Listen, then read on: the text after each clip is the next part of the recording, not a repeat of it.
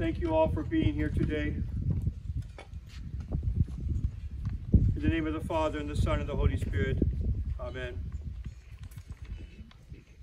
The only announcement I'd like to make today is that next week on Sunday, October 4th, we'll be having the three-month requiem uh, for our beloved uh, Father Peter. It'll be exactly three months to the day of his falling asleep in the Lord on July 4th, and that will be October 4th. So we invite you to join us. We'll have his, his requiem right after liturgy. I would like to talk about one of the saints today who wasn't the major saint of the day, but a very, very wonderful saint, very dear to my heart. He's well known to Romanians and to Georgians, but not known very well outside of that, except by Orthodox Christians in Lebanon and Syria who know their history. He was Georgian.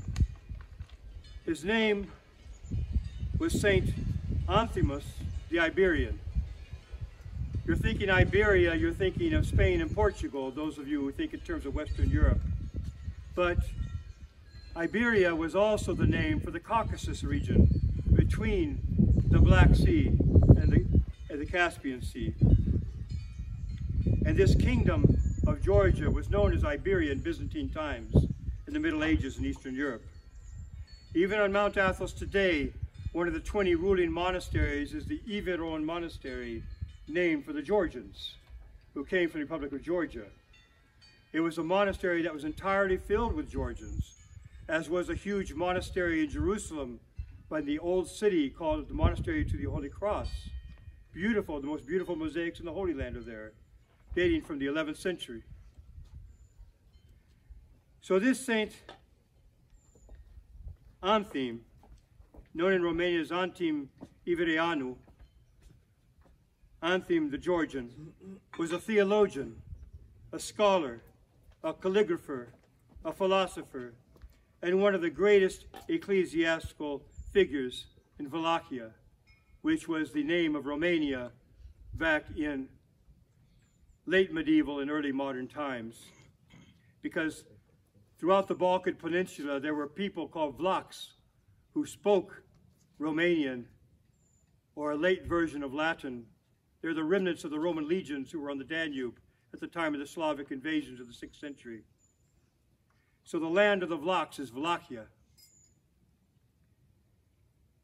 He lived between 1650 and 1716.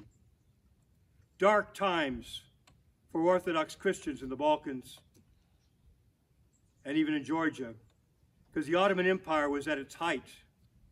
The Ottoman Empire included the whole of the Balkans, right up Asia Minor up to the borders of Georgia, all of the Middle East, all of North Africa, all the way to Morocco. Even Mecca was in the Ottoman Empire. It was a massive empire, bigger than anything in Europe. And he was born in these days in 1650. In the Georgian kingdom known as Iberia and was baptized with the name Andre or Andrew, Andrea. He was taken prisoner by Ottoman soldiers, Turkish troops, and sold in the slave market in Constantinople. But God was with him, and he was purchased by the patriarch when he saw the Christian slaves. And there in Istanbul, he lived in the compounds of what was known as the Phanar, the lighthouse. It was the Greek Orthodox quarter of Constantinople, Istanbul. When we speak of Phanariots, we're talking about the Greeks who lived in Istanbul, and that was their quarter of the city. This is a time when there were still a million or more Greek Orthodox living in Istanbul right up until 1918. He trained there as an artisan. He learned the art of wood carving, painting, embroidery, and calligraphy. Patriarch Dositheus of Jerusalem traveled to Iași in Moldavia, which is the northeastern part of modern-day Romania. And he took Andre with him. A Greek printing office had already been established in 1682. And in 1689, he was asked to settle in Wallachia by Prince Constantine Brâncoveanu, who himself is a saint, who as we hear was martyred with his four sons in a few years from this point. He heard of Andre's talents and asked him to stay in Wallachia to help him with his projects with printing. After a year or so, he became a monk and was given the name Antim, Anthimos. And later, he was ordained to the holy priesthood.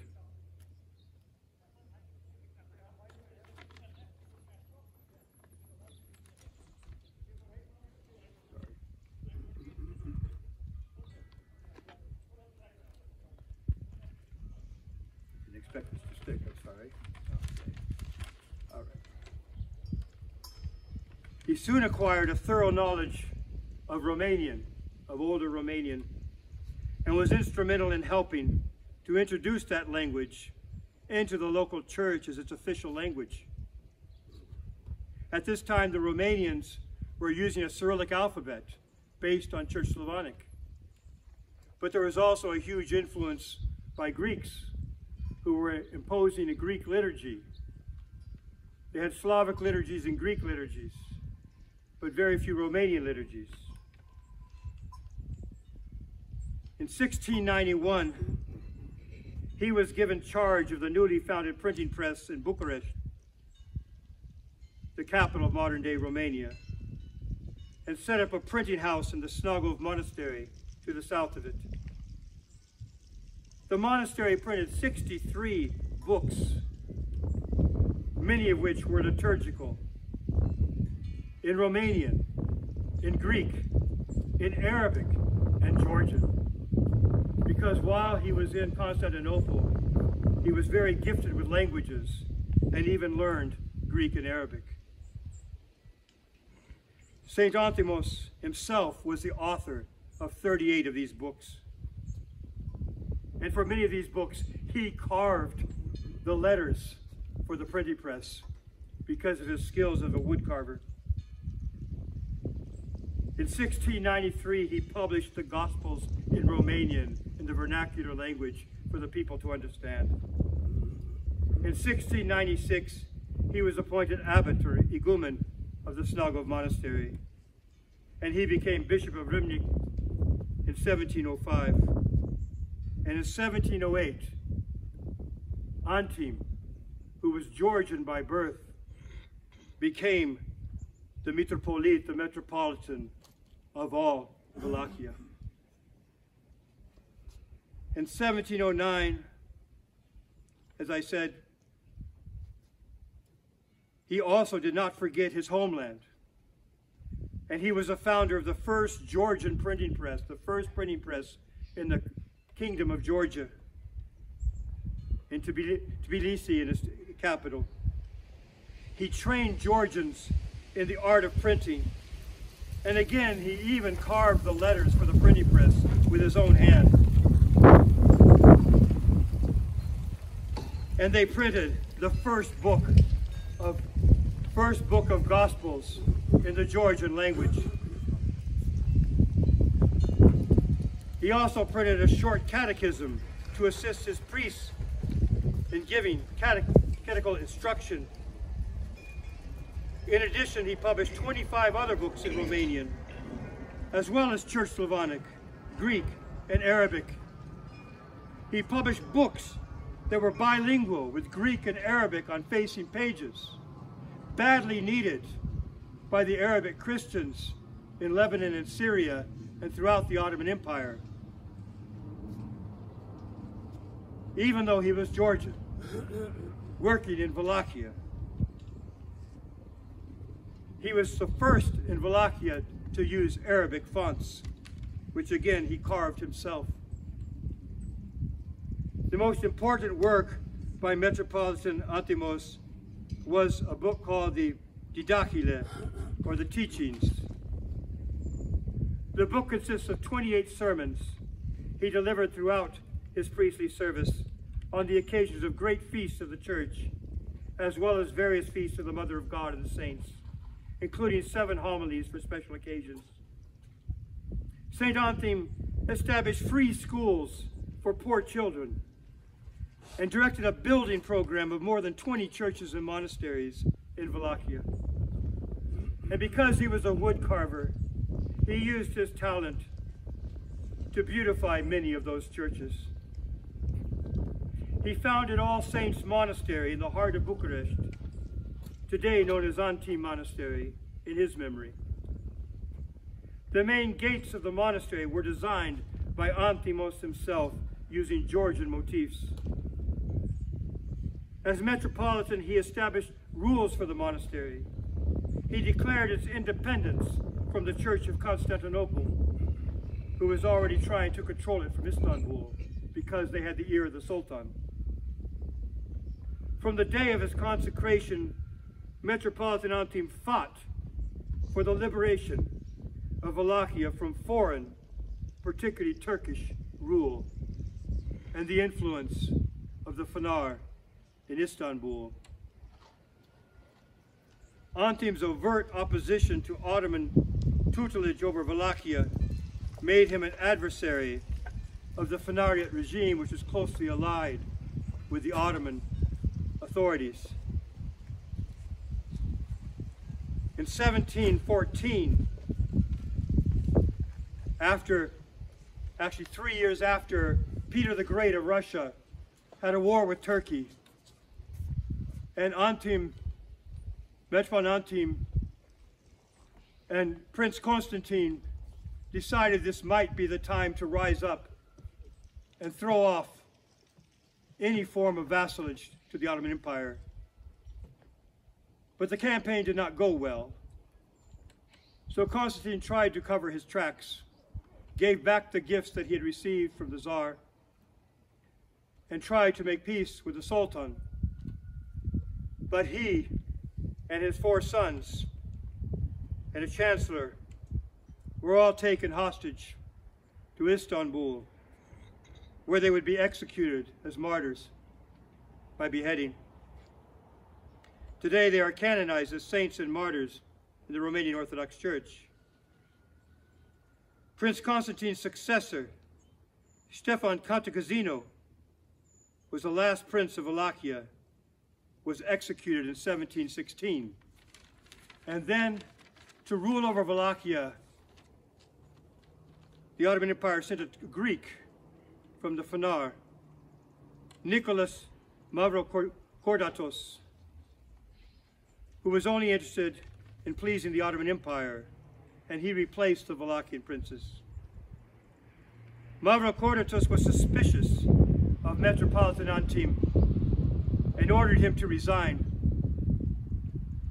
And after Metropolitan Antimos refused to do so, Mavrocordatos appealed to the Patriarch Jeremiah of Constantinople. So the Patriarch convened a council of bishops without any representation of Romanians, without any representation of Georgians, but just the Greeks of the Fanar.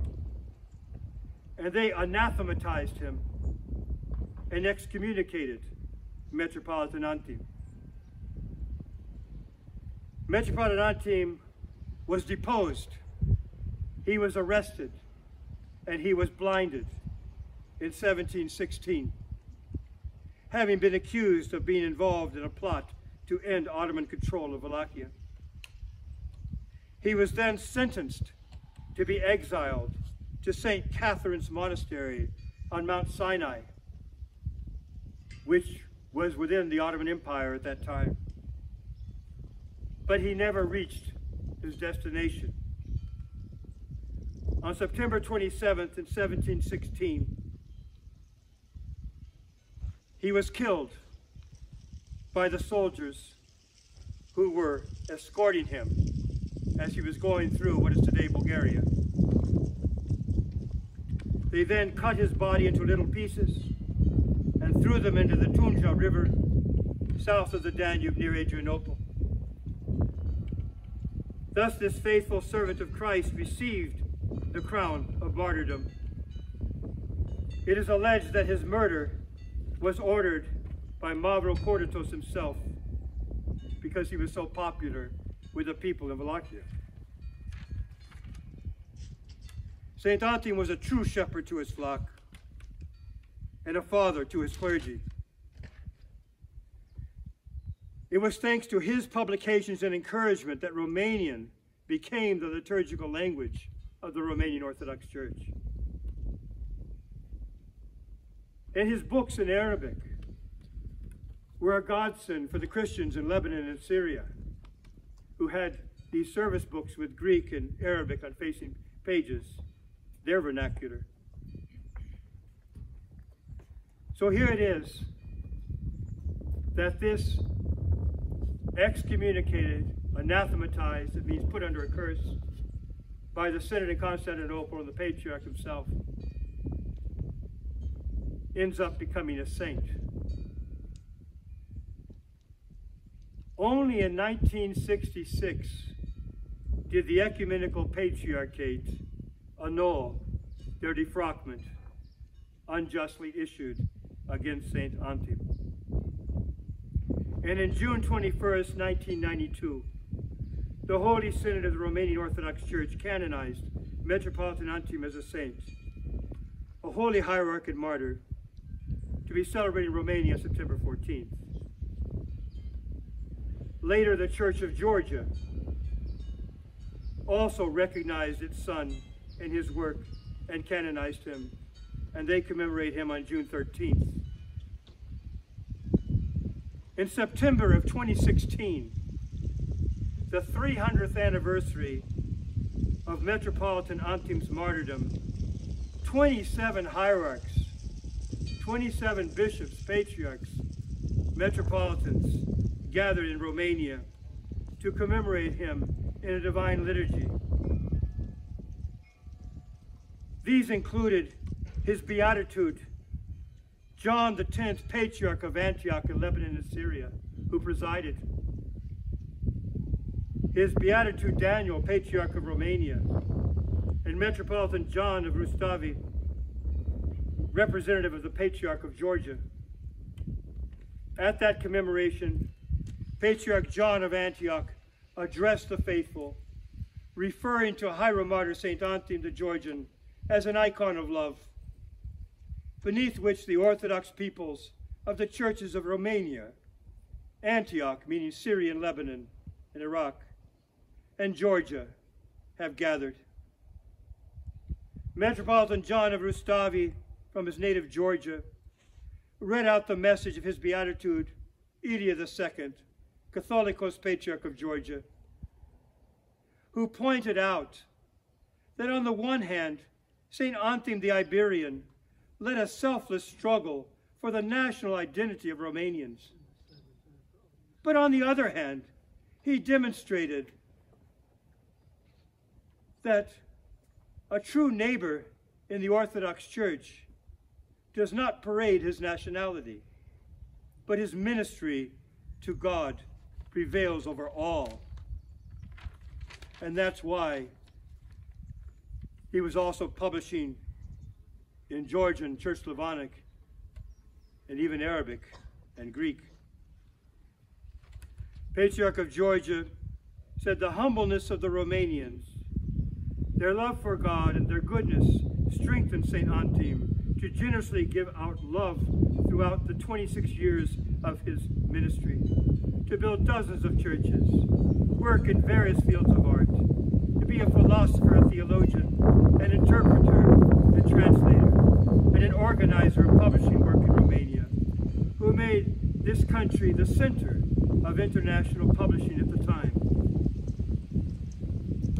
The commemorative synodal decree of the Romanian Orthodox Church on that 300th anniversary of the martyrdom of St. Antim, the Iberian Metropolitan of Wallachia, was then read. To honor the memory of St. Antim the Iberian is a duty of conscience for the entire Romanian people, for his contribution to the development of printing and of the Romanian liturgical language. The example of St. Antim the Iberian, who dedicated his life to Christ the Lord, even to a martyr's death, and his prayers sent up before the throne of the Most Holy Trinity, are a source of inspiration and renewal for the life of our faithful, but also for the strengthening of fraternal communion among our churches, around the saints who defended orthodoxy in the most difficult of times in many lands. I suppose the reason why he's so dear to my heart is because it's so very like our monastery. Here in America, when I was very young, I first became Orthodox, it was very hard to find English-speaking parishes. There are many now. They used to call them pan-Orthodox parishes, where you had people from many ethnicities, but they all prayed in English. But St. Antim was for all Orthodox Christians. They were all his brothers. And yet he was a champion of Romanian nationality. He did both, very like we do here. Here in America, where you have a pan-Orthodox parish, it's very often 100% English. We use a lot of English because it's the common language. But we also mix in a lot of other languages to make other people feel welcome and to know that we honor their heritage. And it's all beautiful before God because there's only one Orthodox Church even though there are many manifestations of it, not only as individuals, but as nationalities. In the name of the Father, and the Son, and the Holy Spirit. Please come for the holy bread with your right hand cupped over your left, and they will drop it into your hands with tongs.